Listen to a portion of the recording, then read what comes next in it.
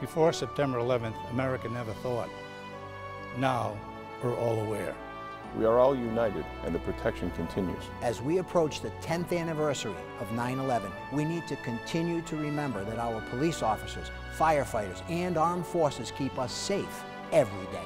Join us on Sunday, May 22nd, for a special concert to commemorate 9 11 and to honor those who continue to serve. For more information, please visit 401ri.com.